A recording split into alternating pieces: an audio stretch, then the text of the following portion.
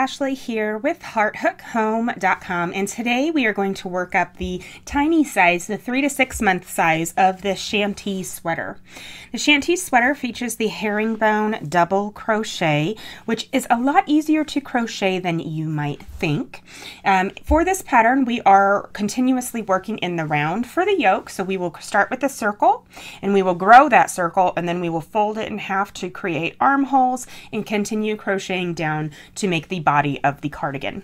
For materials today, I am using a 4mm G crochet hook. This is what hook I need to obtain the gauge as listed in the pattern, which is 14 stitches wide in 4 inches and 10 rows tall in 4 inches. So make sure that you are able to meet your gauge. It's particularly important, especially with wearables. For yarn, I'm just using something that I had in my stash. This is Joy DK. It's a lightweight size 3 baby weight yarn in the Loops and Threads brands from Michaels. The smallest size takes only about 225 yards, so I will have plenty in one ball of this yarn, which is pretty awesome, right? To make a whole sweater out of one ball of yarn.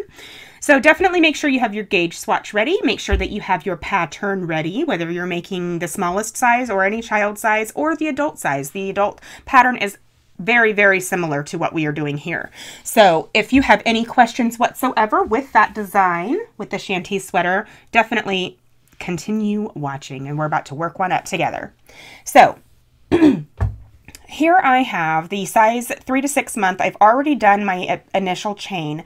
This chain is what will be the neck opening. Okay, so I want to make sure that my chain here, all of my stitches are not twisted, that they are all nice and straight and not in, um, you know, twisted around on each other so that when I go to work back through it, everything works out as it should. So I've got my left hand here. I'm going to flip it so that I can uh, insert my hook into that first chain. So I'm going to insert my hook here and I'm going to do a slip stitch to close the circle. And so then this, once I finish this slip stitch here, now we have what will be the neck opening for the three to six month size. Now that we have our neck opening, we are ready to go ahead and start with the actual yoke of our sweater. So everyone here is going to have different stitch counts. Every size is different, so make sure you follow along with the actual pattern that you're making and not what I'm doing here unless you are doing the three to six month size as well. So everyone at this point is supposed to chain two. And now we're going to start doing our herringbone double crochets around our entire chain. Your first stitch is always going to be in the same as the join. So I'm going to go right here and I'm going to do my herringbone double crochet. I will say it helps me if I pinch this with my thumb here and you'll get the hang of it as you go along. If you need a full tutorial for the herringbone double crochet, that is available on hearthookhome.com and also on my YouTube channel. So I am doing the three to six month size, of course. So I am following row one of my pattern, which says that I need to have nine of these herringbone double crochets, and then I'm going to do an increase. So I'm going to go to nine and then we'll, we'll increase together.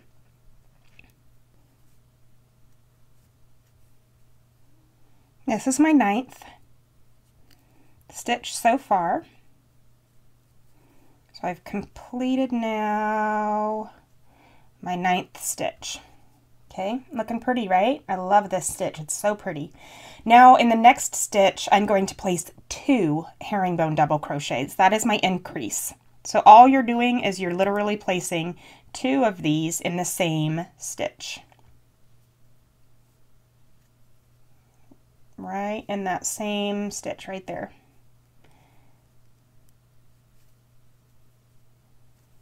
All right, now I'm going to herringbone double crochet in the next nine stitches. The chain can be a little bit difficult to work in, especially after you do the two and one. So just kind of wiggle your hook in there and you'll get it. That's nine, so I'm going to place two in this one. This is the 10th, right? So we did our nine and then two in the next. Remember to follow the pattern that you are making and not exactly what I'm doing here unless you're making the same size as me. So I did two in that stitch together right here so now I'm ready to do my nine again, and then I'll do two when I get to the 10th. And I'm going to do this all the way around the entire piece until I get back to where I started.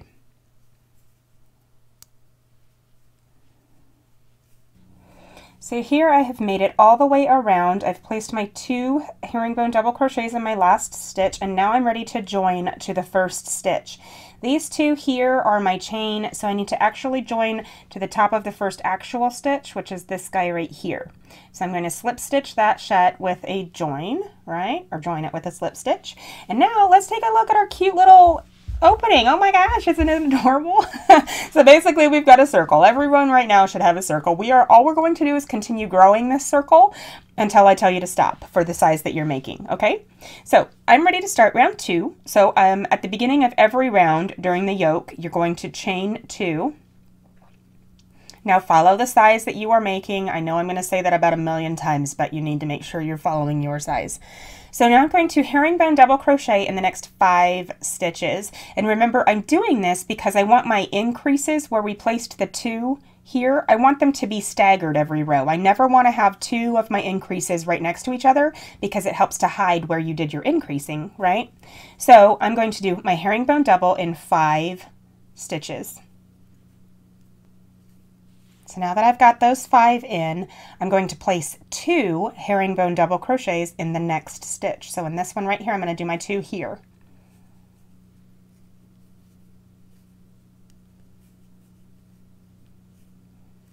Now I'm going to herringbone double crochet in the next 10 stitches and then do two in the 11th. There are 10 stitches there. So now I'm going to place two in the next. And this is all we're doing for the entire yoke of the pattern, which is everything up until we separate off for the armholes. So as long as you can count, um, and make sure you count um, and you can make these herringbone double crochets just keep going and following the stitch counts for the size that you're making I'm going to continue all the way until I get to the end of this row and we will hook back up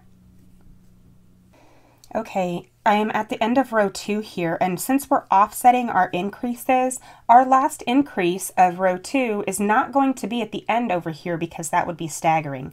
So I've gone my last increase here, and now I'm going to do my herringbone double crochet in the remaining stitches. And that should line up for the pattern that you're making. I should have five stitches left here, and I do, so everything is working out nicely.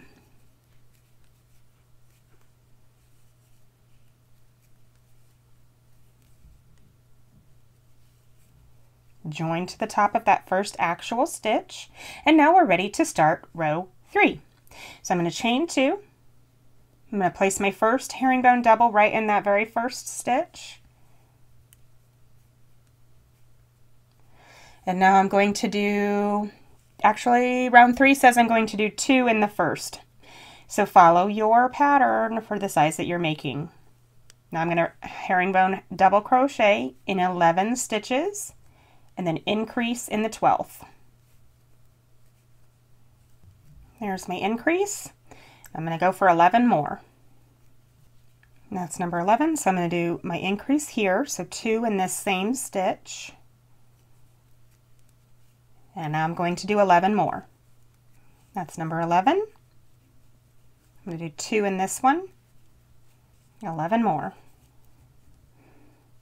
Two in the next, and I lost count here, so I'm going to find the last time I had two, which is right here, and I'm going to make sure that I've got 11 there.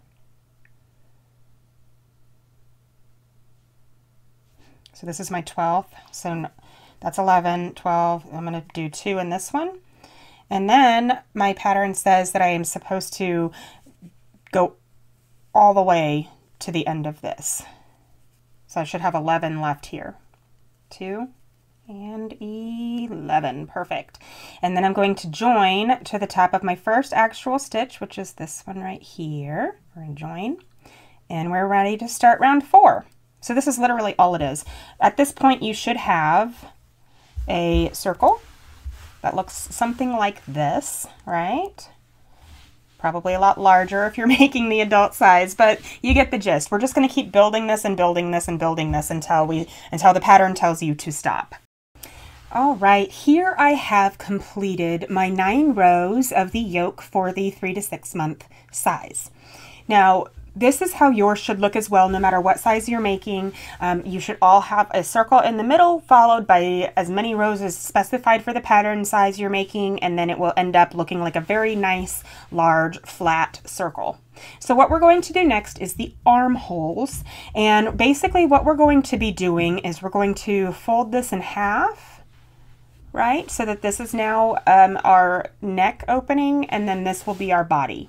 So what you're going to do is follow your size that you are making, of course. I know I say that like a million times, but for the smallest sizes, the plus sizes, you are going to do a chain here uh, to add a little bit width under the arm. For the smaller sizes and the small adult sizes, you do not do a chain. So where it says my armhole row, I am going to skip 24 stitches and that is going to be my armhole. So this one where we joined, that is our first one. Since we would normally place our first stitch of the row in this stitch here, that is going to be counted as number one. So I'm going to count 24 stitches and then I'm going to herringbone double crochet um, in the next one after that. So I'm going to count out 24.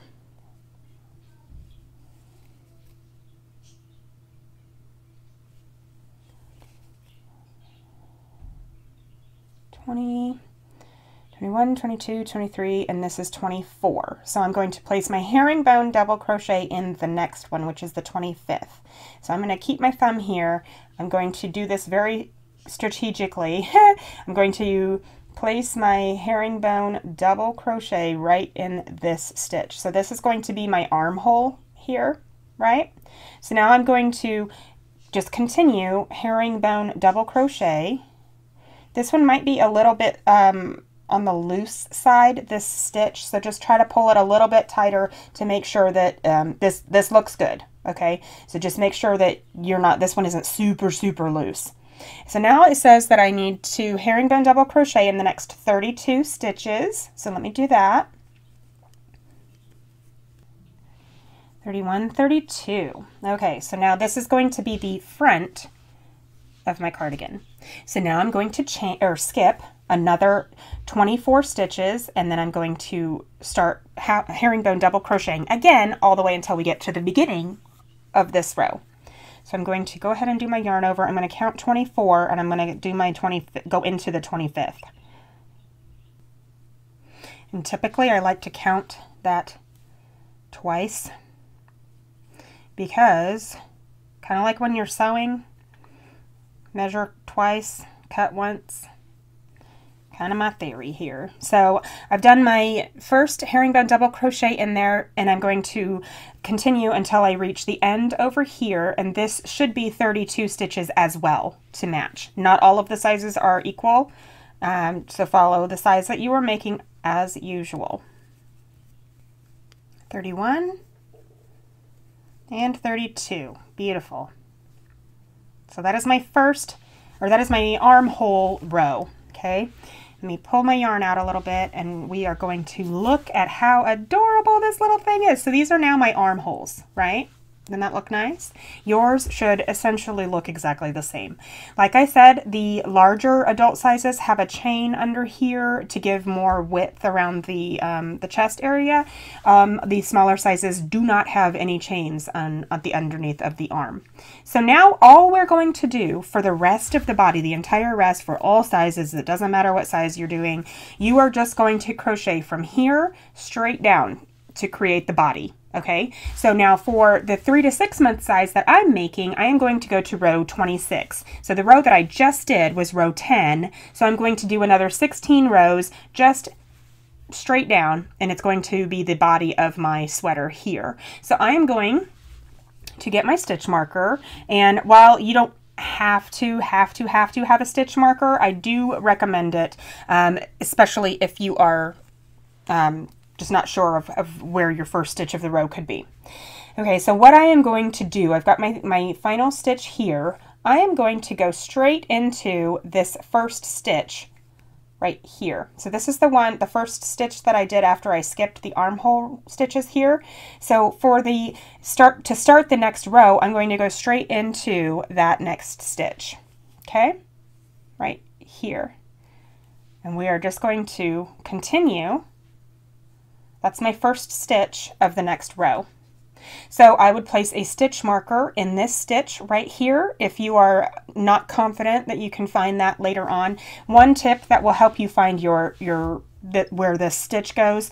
Um, this line right here is the seam from our yoke. And so this is going to be, if we are looking at the baby, okay, this is the back of the baby and this is the baby's right shoulder.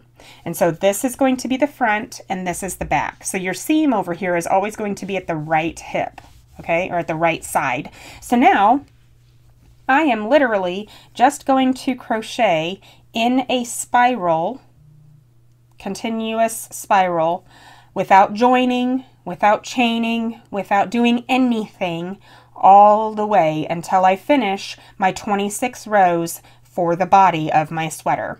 So I am literally just going to continue crocheting along. When I get this body done, I will hook back up with you. When you get the body done, do not fasten off. We are going to go straight into the ribbing for the bottom ribbing of this, and then we will work on the sleeves together, and then we'll be done. This really is not very difficult. Um, it's very fun and relaxing, I think, and it comes out with a really cute sweater in the end. So you guys work on creating the body of your Shanti sweater, and when we get to the ribbing portion below, we will work on that together. So I'll see y'all soon we are ready to do our ribbing and we are only doing uh, four rows of ribbing for this size. This ribbing uses front post and back post double crochet. So if you know how to do that, that is excellent. If you do not, there's a video tutorial for this as well. So the very first thing that we're going to do is that for the ribbing down here at the bottom, we want to make sure that we have an odd number of stitches. It just looks nicer. So the first thing I'm going to do, since I have an even number here, not all sizes are even, make sure you follow the size that you are crocheting. But since um, this one is an even number, I'm going to do one decrease just in these two stitches here to make sure that I have an odd number. So I'm just going to do a half double crochet two together. Doesn't have to be fancy. I just need one decrease so that I can get this out of the way. Okay, so now our first stitch or our first stitch of ribbing is going to be a front post double crochet around this stitch right here. So front post double crochet. I'm going to go around that whole post. And then the next one, I'm going to do a back post. So come from the back side, double crochet, and a front, and a back. And we're just going to alternate these the whole entire way around. When we get all the way around, we're going to place our last front post around that half double crochet, and we're going to join to the top of the first actual stitch. It looks a little funky while you're doing it right here, but I promise you it will look fine when we're done. So we're joining to the top of that actual first front post double crochet. Now, we're actually going to do something that we have not been doing the whole time in that we're going to chain two and turn. We have not been turning this whole entire time. So this is the first turn of the entire sweater, okay? So first we're going to do a back post around this one because it looks like a back post, right? And so we're wanting all of our ribbing to nicely line up. So this is a back post double crochet. We're going to do a front one around this one. Since this one is sticking out towards us anyway, this is a front post. And a back post. And a front post. And a back post. And we're just going to continue this all the way around. We are going to complete these ribbing rows for a total of four rows on this size. The number of rows you do gets larger, uh, the larger size you're making. This row on, or this size only gets four rows of this ribbing. So this is row two of ribbing. When I get to the end of this round, I'm going to join to the top of this stitch and then I'm going to turn and come back the other way, right? So I'm just going to keep on adding to this ribbing.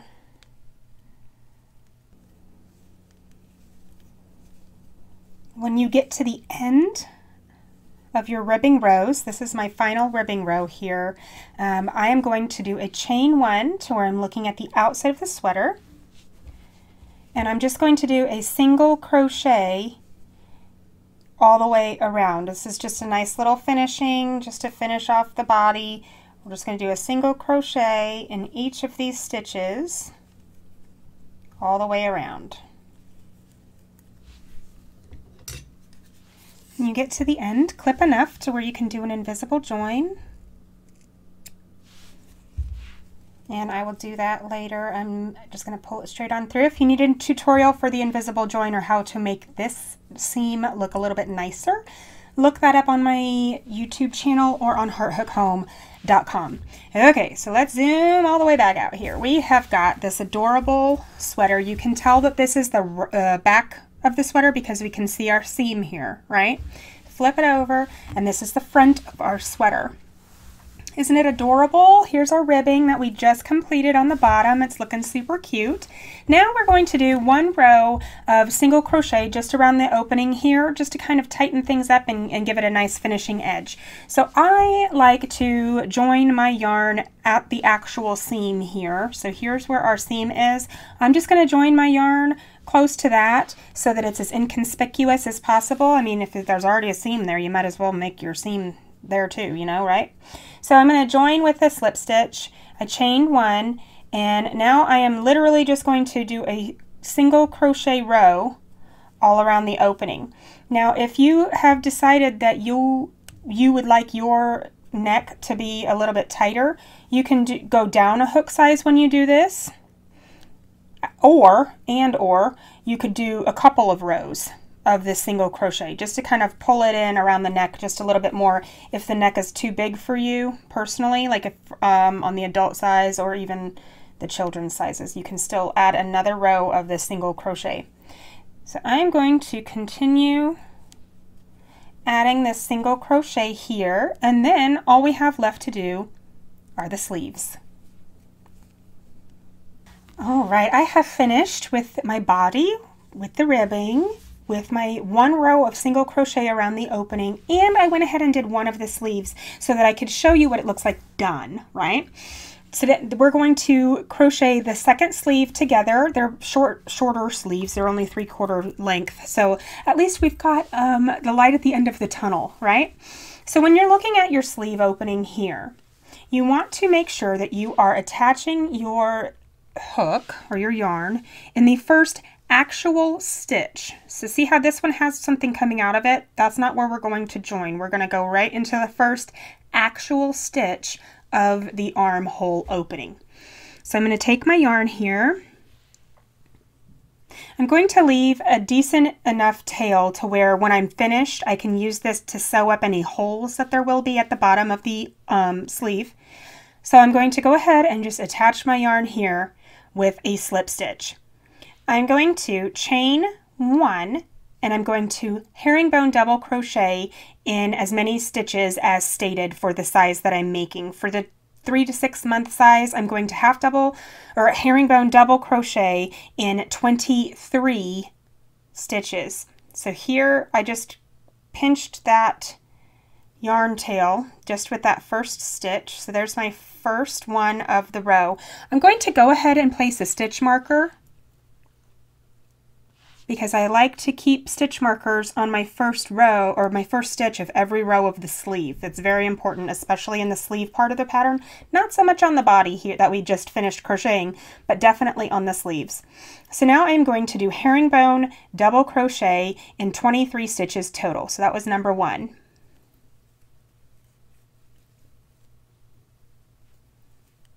I've done 23 herringbone double crochets. Now I'm going to do a double crochet four together. And all we're really doing here is we're getting from where we are on this stitch here all the way over here. So it's going to be one large stitch but it's going to make all the difference in the world. So I'm going to pull up right here. These are just regular double crochets. I'm going to just kind of place them across the bottom of the armhole here. Just so that there's something, pull through that one too. There's one more. I'm going to do it about right here. So just evenly place these four stitches across the bottom of your armhole here. And it does have a little bit of a hole. That is okay. We are going to clean that up when we're done. So we are going to join to the top of the first actual stitch right there. And that is going to be our only join right? Make sure you read the size that you're making for this sweater um, sleeve so it does look a little funky here. That is okay. That's why we left that long tail. We're going to go in and we're going to kind of clean this up here in a little bit. So go ahead and remove your stitch marker so that we can place our first stitch of row two. So we're not going to chain or anything. I'm just going to do a half or herringbone double crochet right in that same stitch. And I'm going to mark that with my stitch marker. And now I'm going to do a herringbone double crochet in the rest of these stitches all the way around. This is my last stitch before the stitch marker. So that is the end of row two.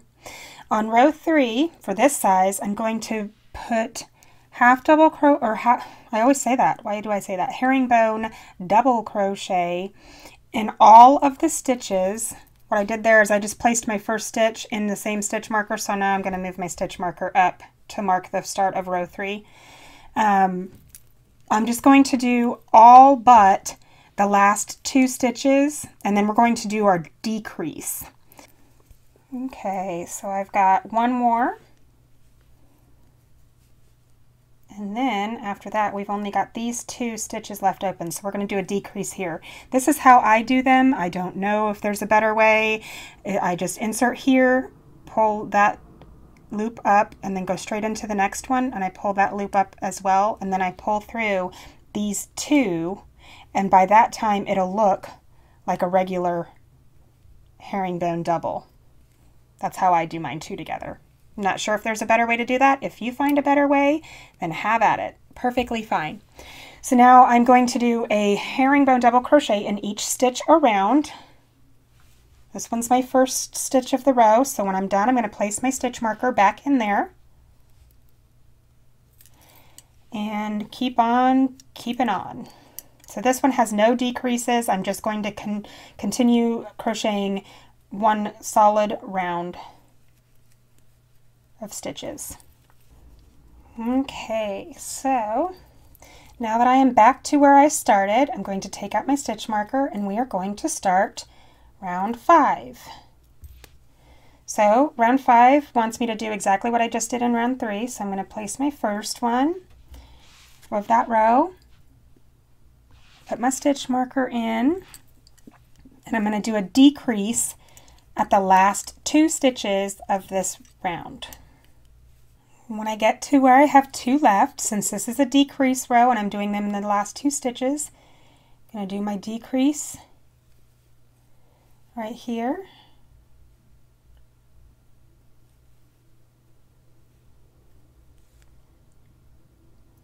So now I'm ready to do round six, which is just herringbone double crochet in each stitch around. So I'm going to take out my stitch marker so I can move it up a row.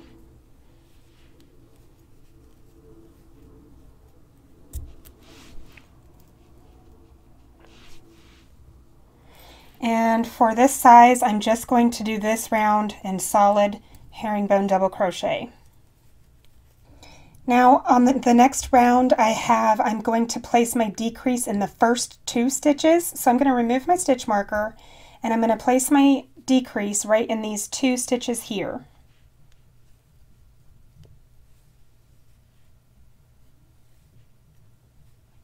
And then I'm going to place my stitch marker in the top of that one that I just made since that is now our first stitch of the row. This is my final row of my sleeve here and I'm going to do a decrease in these two and then just continue all the way around like I just did. And then we will be ready for our finishing round of the sleeve.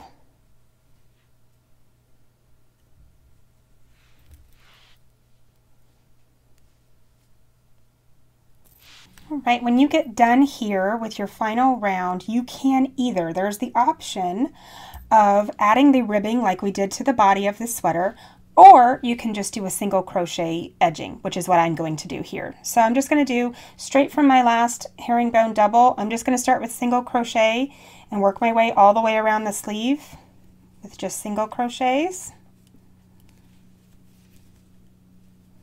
And then we are finished with our cardigan, with our little sweater, and I will show you how I weave in my ends underneath the arm pit area to kind of clean up any holes that we have there. Okay, let me fasten or clip my yarn here and I'll do my invisible join here in a moment. And we are done. So in order to clean these up, see this one um, I've already done, I haven't woven in the ends yet on the inside, but it doesn't look too bad, right? It's a little bit holy, not that horrible. This one looks a little bit funkier. I'm not sure why it looks so funky, but we're going to fix it, and it's not going to look as weird as it does right now. So I'm flipping it inside out, and I'm taking this tail that we used from the beginning when we attached to make our sleeve.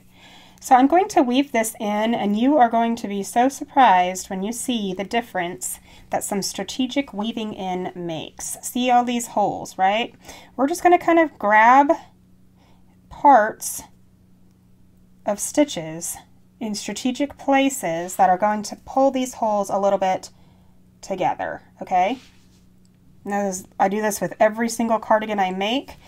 Always, always, always leave a little bit extra yarn when you attach to do your sleeves because you can go through and really clean up this whole underarm area with very little effort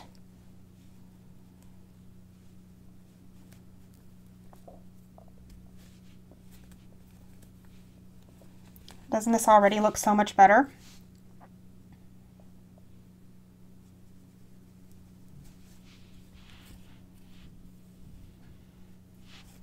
And even that right there looks a heck of a lot better than it did. So I'm just going to continue weaving in my ends here. Here, I'll do that in a second since we've seen the gist of it, right?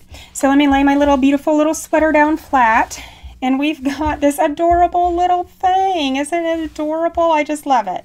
I'm going to finish weaving in all my ends and then I'll take a, a few good pictures for y'all and share them with you. I hope you love your little Shanti sweater or your large one if you're making one for yourself. So I enjoy crocheting with you. I'm going to weave in all these ends and I will catch up with you next time. Thanks for watching, guys. I'll see you soon.